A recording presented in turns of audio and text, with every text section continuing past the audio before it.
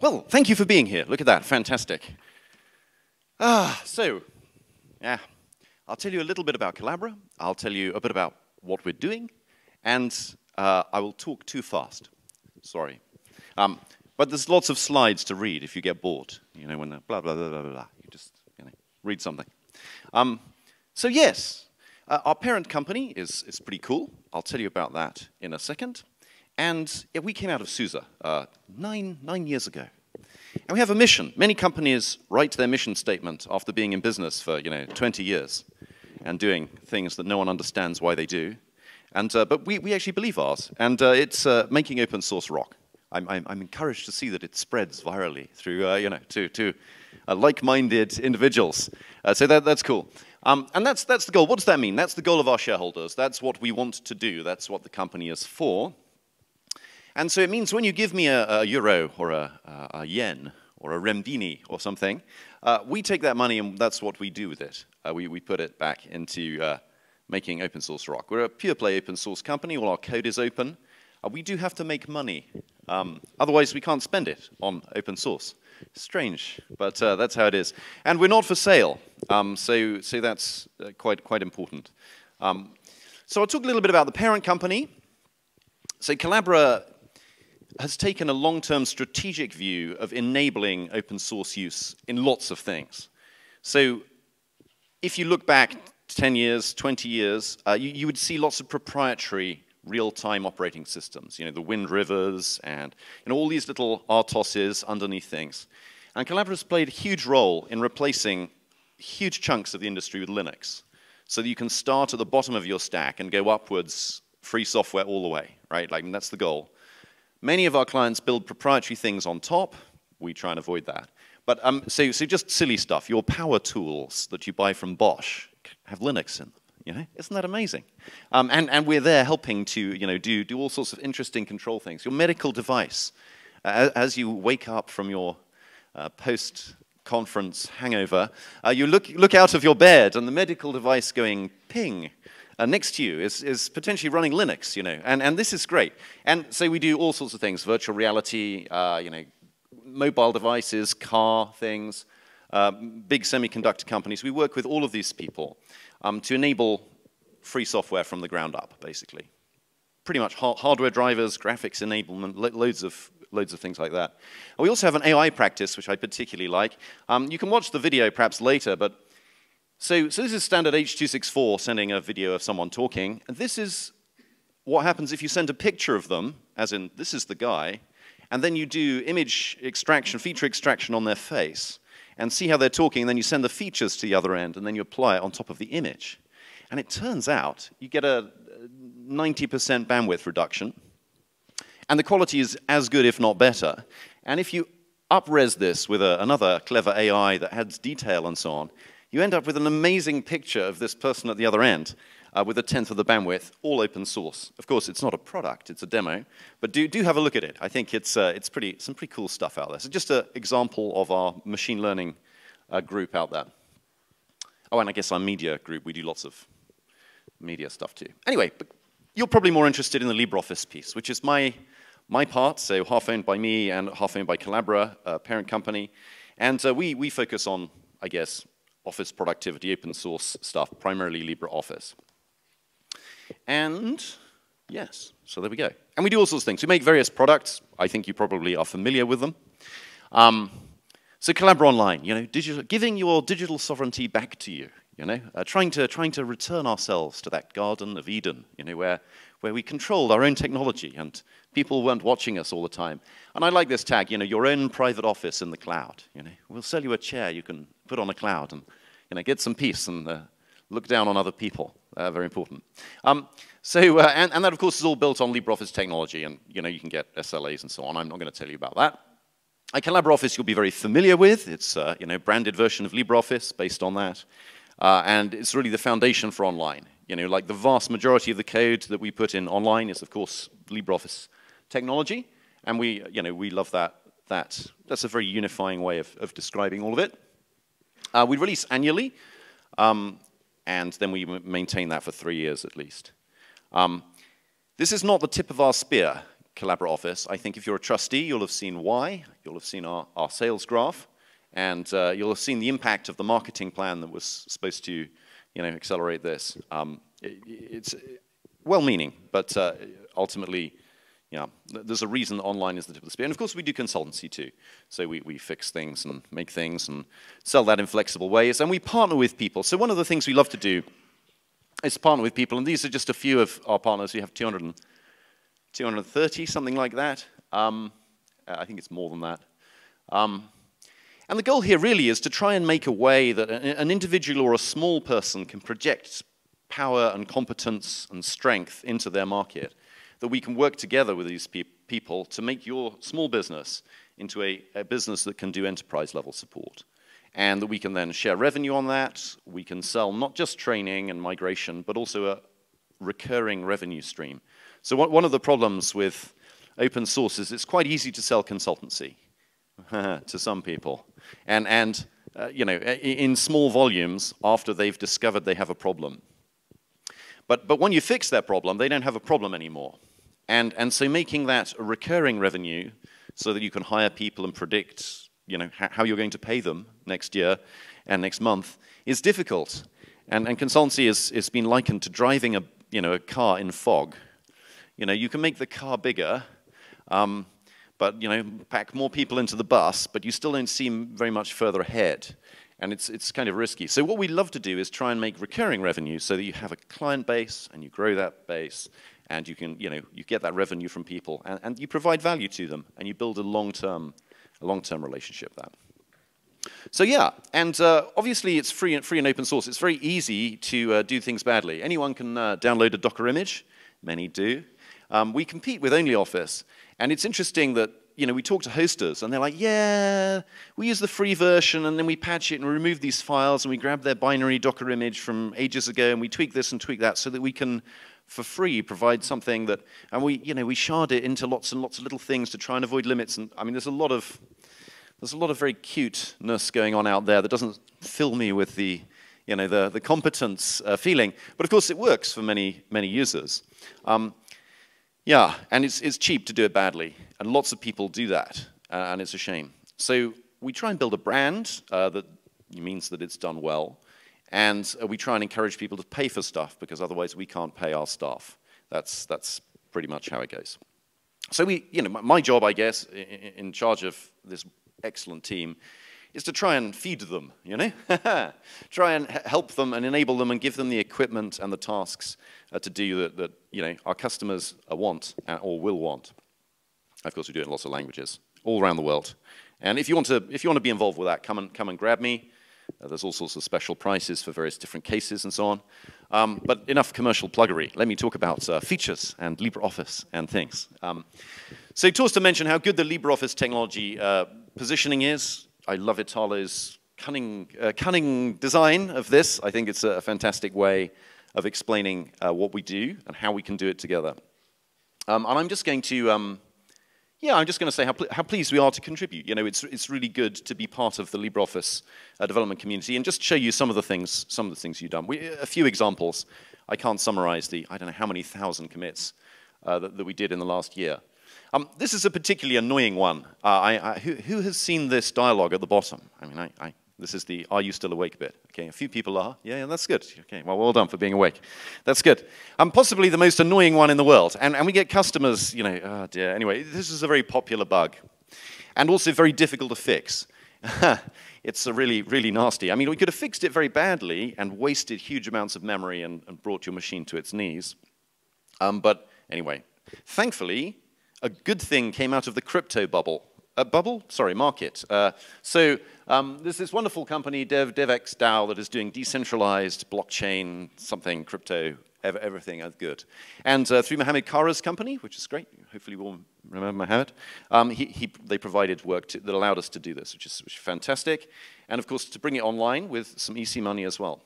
Um, Artificial intelligence. People say to me, what's your artificial intelligence story? I don't know why they say that, but they, they feel we should have one. And probably we should. I mean, I don't know. Seems like it's a, it's a trendy thing. Um, so here's, here's one way we can do, uh, bring AI to, to LibreOffice. And uh, that's through uh, grammar checking. So some parts of grammar checking are really not susceptible to, to AI. For example, uh, checking your ISBN is got the correct checksum, like it is an actual ISBN. It's not very good for AI. Other parts of it, in terms of you know, some of the more complicated sentence structure pieces are. Now, LibreOffice has had uh, language tool support for a long time, but the language tool company makes a beautiful server product that, that sits in the, in the cloud. And actually, it's a really encouraging example of an open source company building an open source product and, and doing well. And so I love it. And they're based in Germany, Language Tooler. Okay, go to Potsdam and see uh, Daniel Naber and what, he, what he's doing. And I guess partly they, they ride on Grammarly's adverts. I, I, I, constantly see Grammarly adverts. Maybe it's just me. But um, you know, the, the, not very good grammar checker with a very large amount of marketing turns out to be, uh, you know, you, you, can sell it. And, and it's a little bit annoying to me who struggles. I mean, if you see the prices early, $18 a seat list price for, for Collabora Online, right? They're charging that a month or more for, for just the grammar checker, which is, uh, which is interesting. Um, anyway, so thanks to Adfinis for helping accelerate this, but we now have the, uh, the web um, remote uh, grammar checking API. I think Mert uh, did that. And it will call out to the server and you know, give your text to them. Of course, you can do that on premise, because we're kind of privacy-focused company. You, know? Uh, you don't really want uh, the grammar, all of the text you type to be sent uh, over the internet to someone else. Um, and so that's not on by default. Obviously, you can turn it on with, with their server, or you can run your own language tool server locally. But yeah, nice to have. Sparklines, another, another feature that our aggressive competition have been pointing out that we don't have. And so, uh, so some great work there. Uh, thanks thanks uh, for, for doing that. And of course, that's back to the, the EC um, have, have done some, some work under like a business accelerator grant scheme, which has been very, very helpful um, to, to do that. So, um, and these are essentially just a little chart in a cell that, that shows you a trend. So, yeah. I mean, like you could do the same by embedding a chart and turning off the axes and stuff. But anyway, we need to be interoperable, and it's not, it's not done like that. There's a very, very simple charting I made there. Uh, this came out of, I think the French government wanted this, so I think um, there's a DGFiP uh, organization, and I think they're having problems with their copy and paste. And it turns out that we haven't had the latest image support. We are many years out of date, and wouldn't it be good to, uh, to have it? So anyway, merging that in. So now you can copy and paste between the browser and elsewhere uh, using WebP and, of course, render lots of images uh, in that way. Content controls, I think Torsten mentioned earlier, the, uh, the work we've done there. Miklos has been uh, making a whole load of these, these things work uh, very nicely, uh, which, is, which is kind of cool, um, particularly for governments who are, are, riddled with forms. you know, that's, that's what government is about, isn't it? Collecting the same information again and again and again, I once went to a Hackfest in the National Health Service, and there was a guy there, and he'd been to every doctor's surgery in his, just his county, and every hospital, and he collected the form that they used to you know, ingest you. And all of these forms asked the same questions, 50 questions, um, in a different order and a different layout was slightly different. It was quite encouraging. Anyway, look, can't have enough forms. Um, but wouldn't it be nice if they're electronic and you could auto-fill them and you know do, do, good things? Anyway, so, so but this is really helping people make more forms easily. You'll be pleased to know. And um, uh, but, but anyway, we're exporting them to PDF hopefully nicely now and uh, making this uh, work work really nicely. And this is something that we can't, the Word can't do, as I understand it. Uh, you know, you need to use an Adobe uh, thingy to do it. Um, but hopefully, hopefully, that'll be a nice, unique feature for LibreOffice uh, 7.5. Um, color theming, so another thing that's really irritating is the blue box problem in LibreOffice. Um, you know, every time you click, you get a blue box, right, full of blue. And uh, it's probably not what you wanted. And wouldn't it be nice if it fitted in with other things in the document? Um, so we're slowly moving in the direction of making it less blue. Um, which, which is probably good. Um, chart data table. So another big key interop feature. People have these charts. They put them in their slides. Microsoft has this feature of putting a little data table underneath the chart so you can see uh, what's going on and uh, allowing you to edit that and so on. And Quikee has done some great work here to, uh, to make that work in, in LibreOffice, uh, which, is, which is useful. People complain when the, the chart, the, you know, the, the data is missing. They, yeah, and it's, it's been like that for a long time. A DeepL translation stuff also built in. So Mert, I think, is, I think, I hope he's merged as the master. Um, but this is essentially a, you know, a way to, to integrate a, a DeepL server. You have to have an API key, annoyingly. Um, so, eh, who knows? But enterprises that have uh, translation needs uh, can put this inside their, uh, their VPN, and then you know, translate uh, to their heart's content uh, built into Writer. So that's good. Well, why show contributions? Lots and lots of people have contributed many things, and that's good. Uh, and we are only one part of the community, obviously, and many people will be talking about the cool stuff they've done at this conference, and we're looking forward to, uh, to hearing those talks. Uh, but we really want to encourage uh, people to get support and services from companies that contribute back. Maybe not my company, but just any company that contributes back. That's really key. So please, when you buy a product or a service, you know, ask, you know, what, what have you contributed back upstream? How's that worked? Who have you worked with that contributes back? And you know, it's useful. It's useful to remember that all of those things are done, paid for by customers. You know, like there's no free ride here. So I'd like to talk a little bit about the Document Foundation. I have a few thoughts and, and, and trends and asks, and I hear, I hear things around the place. So I just want to say this. It shouldn't need saying, but I will say it anyway. Collabora loves LibreOffice, right? Um, I hear that people are trying to destroy TDF. I don't know who they are, but it's not us. Uh, we help TDF in many ways, and you can see later. We're, we're arguably the largest co-contributor, and we review and we mentor and we encourage people to join LibreOffice, and we help them do it uh, every day. Uh, and we help users too. Um, there are other variants of they contribute too much, um, which, is, which is a good criticism. I like to hear this criticism. This is, this is good. I, I feel very relaxed about that. Um, but then, of course, people worry that they might stop contributing too much, you know, and then, well, that would be bad. Um, but again, there are no plans to stop contributing too much, right? Uh, I mean, like, please don't drive us away, but at least, you know, we, we, we don't want to do that. Um, I hear amazingly that Collabora doesn't want in-house developers at TDF. Well, that's not true either, and we do. We just want them to be peers in the community. Uh, we want them to be tasked by the board, as normal, managed by the ED and the team, as normal, and helping to grow the community. You know, as, as, as real members of our community and not, you know, stuck off. And hopefully we can hire these people soon. So, I mean, I, I, I I, would just encourage you to be aware of polarizing narratives. If you hear something that seems very strange and doesn't fit with what's happening. Um, yeah, please, please do uh, you know, challenge that or come and ask, is it really true uh, that this is happening and so on. Um, and I think, you know, even after we disagree on details, I think Torsten captured this really well. You know, we have a large overlapping goal of making TDF succeed. And I read these slides last night, so, you know, there's obviously some groupthink going on somewhere. Um, another thing that I hear is that, um, you know, TDF has to do this. Um, you know, it's really it's really vital, and TDF absolutely must do this. And it's, it's unfortunately, English doesn't have a good way of saying this is mandatory versus I passionately feel that you should do this. And so it's completely fair that, to say, you know, for me it's vital that TDF does that, right? But please don't dress this up in some legal language saying it is legally mandatory that TDF does this. TDF has very, very wide freedom it does not have to pursue all its goals simultaneously or to the same extent. And here's a good example of something that we do uh, relatively little of. Actually, we leave it to the ecosystem. This training of governments and private organizations about the use of the software through seminars and workshops and so on is notionally a goal of TDF. Arguably, it's something that we could fund and resource and advertise using our brand and push out there.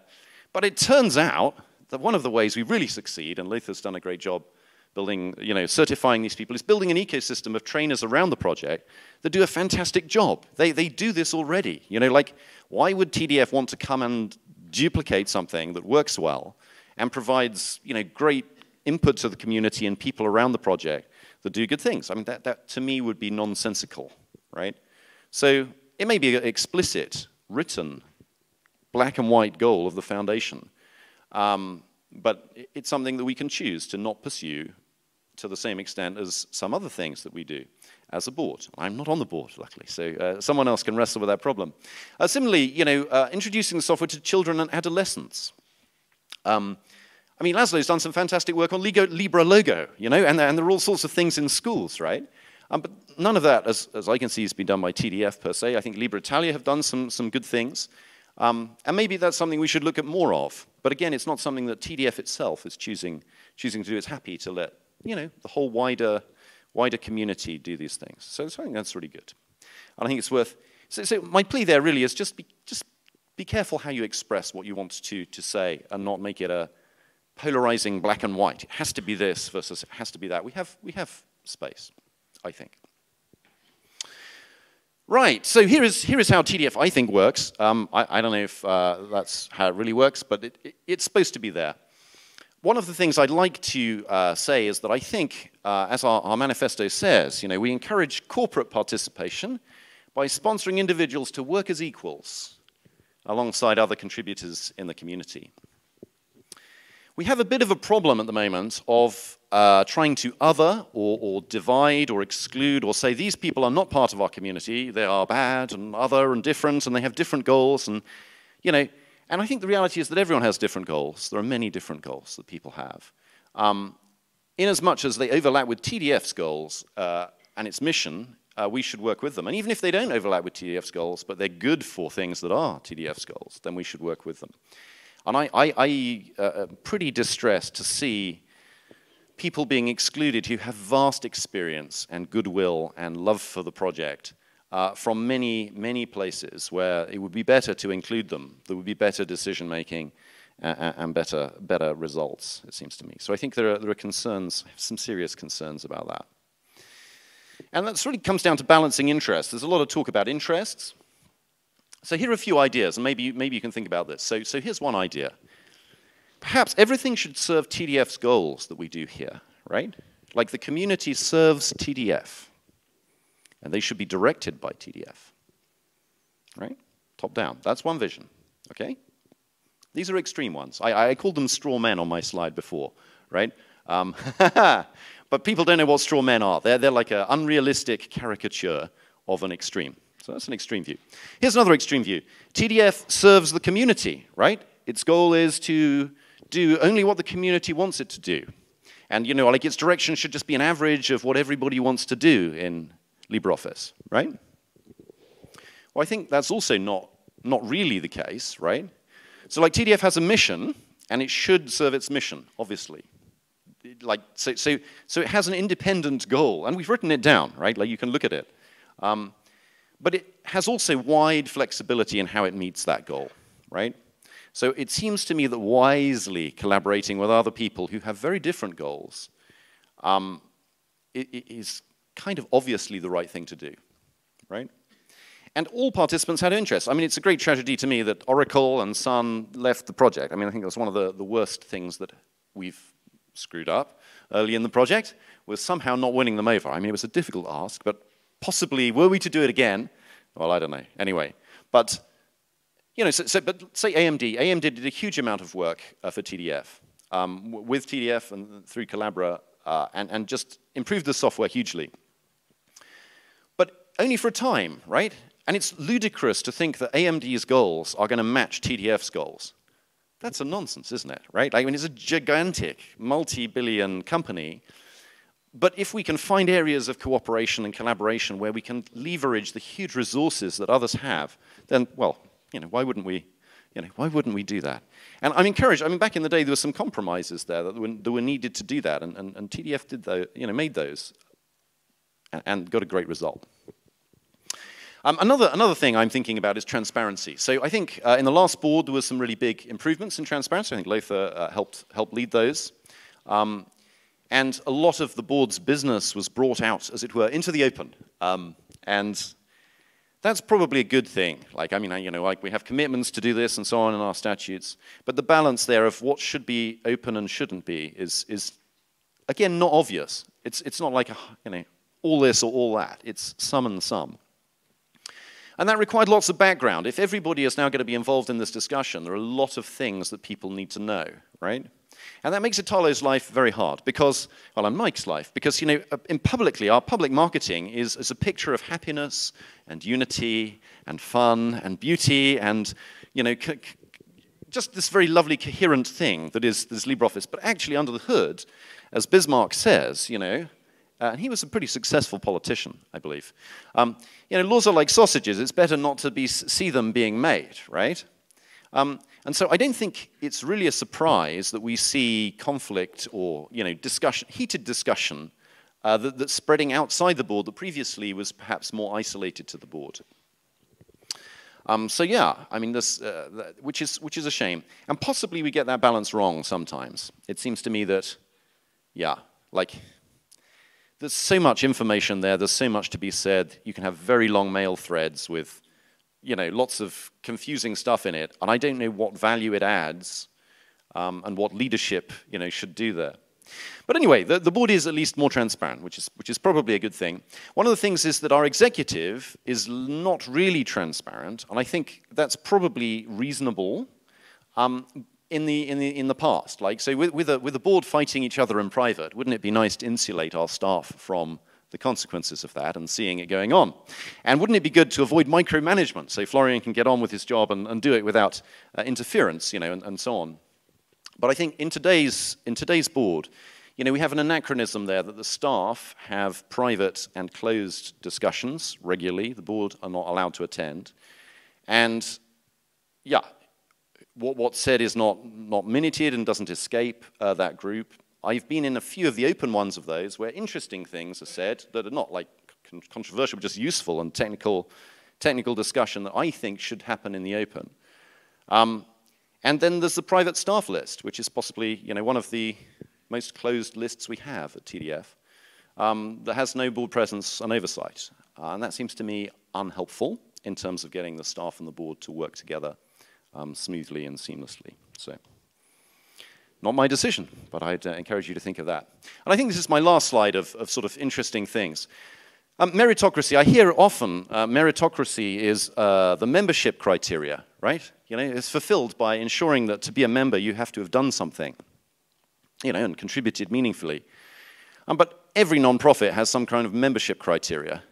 To me, that doesn't seem to fulfill the goal of listening to people in a way that reflects the value and the experience and what they bring to the project. And I, I see people with vast experience in so, some areas uh, being ignored or told they don't know what they're talking about. And it, it just seems to me that this is something that, at least as developers, we take quite, it comes quite easily. Like, it, it's, it's fair enough to have some newbie arrive with a patch. That's brilliant, and we encourage that. Um, but if they start arguing with someone who is extremely experienced in that area and has written the code and maintained it and gets all of the problems, that does just seem very silly. I mean, like, you know, it's a great way to look silly uh, if, if, you want to, if you want to do that. And I think we need to retain and regain perhaps that understanding that it's basic common sense to, to weigh heavily, take for gospel, obviously you can be experienced and wrong, but to weigh heavily uh, you know, the advice and input of those who actually know a lot about uh, one area. And I think the ESC perhaps does this quite well, and it's one of the most peaceful places. And, and I think it's focused on just doing it, and, and, and perhaps realizes that people don't have to be there. I mean, like the, the ESC is really not a command and control thing. It's like a grouping of people who meet to try and discuss, you know, how we can work together to resolve any conflicts, to say what we're doing, um, but not to tell people what to do per se. We try and gently embarrass people who have regressions into fixing them, but you know, yeah, be useful and fun. So that's my TDF things. Let me talk just a little bit about uh, Collabora Online uh, and some of the last year's improvements. So one of the things was that we, we spent quite a lot of time trying to get the LibreOffice technology branding into uh, Collabora Online, into Nextcloud Office, which arrived in, in the last year, and uh, into our, our partners' uh, Office suites too. Um, I'm thrilled to see Nextcloud Office on the TDF infrastructure, but for a long time we didn't have the right logo in there. So it's, it's really annoying because uh, Guilhem has a brilliant cross-site scripting avoidance something, and so it wouldn't download it from our server. But now, now it does it remotely, and all is well. So, uh, so we have the right branding there. And it's really important to us that when you click on that, you, you, you, find, you find out about LibreOffice, and you learn about LibreOffice technology. We keep this, we don't put it in our software, we put it on our website so it can be taken down immediately because we're, you know, like, the, and my hope is that the legal team will sort out the trademark situation in a beautiful way soon. Everything will be clear and crisp, and and they'll stick with that for a while. So, so but either way, we, we, we try and credit people, and we even have pictures. You may find yourself there. Uh, so, so hopefully, you know, when your smiling faces are showing up on the, on the team photo later, uh, will show up. Because we want to be saying, we want to be talking about LibreOffice. We want to be saying how good it is uh, to, to be involved with LibreOffice, obviously. Um, and any, there's a whole load of features we've done. So there's JavaScript sidebar, we've, we've improved things, uh, precise anchoring, better user experience on mobile, accessibility checkers, uh, coming to online, various dialogues and properties, uh, improved performance in various ways, uh, bandwidth reduction, so now Collabora Online streams tiles and deltas to them, so it's a bit like, I guess, a keyframe, and then changes to it, uh, which can save lots of bandwidth and CPU time. Uh, more CPU time savings coming. I'm trying to get my patch uh, fixed. Loads of polish on the user experience. So this is, it's hard to understate how important user experience is, and I'm sure Heiko will tell us this later. Um, but, but, it, but it's easy to think, ah, oh, that feature is what's important. But actually having a polished UI has an amazingly pleasant effect, you know? And, and I think as we think about improving LibreOffice as a product, I think user experience is one thing where we could significantly invest. I think we have a, have a gap uh, there that, that, we could happily fill um, in a totally non-controversial way and, uh, and make, it, you know, make it a product that people not only fills a gap, not only does lots of things in a powerful way, but just feels sexy, to use a random sexualized word. Um, lots, of, lots of commits then, uh, stress testing, Prometheus metric, lots of things, more than I can possibly put on a slide. A whole load of non-Collaborans uh, helping there in the last year, and thank you to everyone who's uh, on that list. Um, we have a, if you're interested in coming to Berlin after this LibreOffice conference, we're going to be doing some, some fun stuff there, uh, alongside the Nextcloud conference this year. Um, so nine years, what have we done? Well, we're still contributing significantly to LibreOffice. Um, actually a smaller proportion of the commits. And let me tell you, commits are not everything. You know, there are people as well, and people are probably, you know, Thorsten's got, a, got the right focus. People are, people are key. Um, but it's obviously nice if they, you know, get lots of commits too. But, um, so this is a smaller proportion. Collabora is shrinking as a proportion there. And I have this always on, on the side of my slides every year. We need to improve our ecosystem diversity-wise. Um, and let's make sure that people can build successful businesses around it. Uh, and that, that's the, really the best way to do it. And we serve in lots of ways. This is, uh, this is you know, well, I mean, you know, I don't know. You, you, may not think that two board members is, is, is easy to, you know, to, to, dedicate, but some of these people come out of those meetings totally demotivated, you know? it's not just the meeting time of an hour, it's like the day to recover, you know, and, uh, and try and get, get back into uh, some sensible state. Um, and of course, mentoring and, and summer of code and all, all, of these things, we do lots of things uh, to help uh, TDF and tell people about LibreOffice. And of course, it's all done by the team. Um, and those people in black, somehow, somehow they get to the top of the list, commit list, and also manage a team. I mean, that's, that's, that's pretty impressive. I, uh, I, am well, I'm well impressed anyway. It's, it's not easy. You know, it seems easy to hire lots of developers and then all your problems are fixed, but actually you have to manage and motivate and task and inspire and help and, you know, uh, encourage them uh, to, to do good things as well. And that's, that's not easy. And so we're hiring. So if you want to join the team, talk to me. Work from anywhere role to do any of these things. We'd love to have you on board. And here's a picture of some of us. And I'm nearly there, I think. Oh, I, in fact, was there. Cool. So, so in conclusion, Collabora loves LibreOffice. I think that's a key message that we have. And, and, we see LibreOffice and making it better as actually an application of our mission, uh, which is to make you know, free and open source software rock. Um, we want to liberate people's documents, um, our goals are not the same as TDF's, but they overlap hugely. It's all paid for by our customers and our partners, and we can't do anything without a customer or partner or someone to pay the bill. And you may look at Collabora and think, oh, what fun, they can do anything they like. Um, we get to do exactly what our customers tell us to do and our partners. That's it. Uh, and alongside our staff, branding is really one of our only assets. So we really appreciate you telling people about Collabora. It's a pleasure to be able to sponsor the conference. Thank you so much for being here and come and talk to me later or my team. It would be fantastic. Thank you.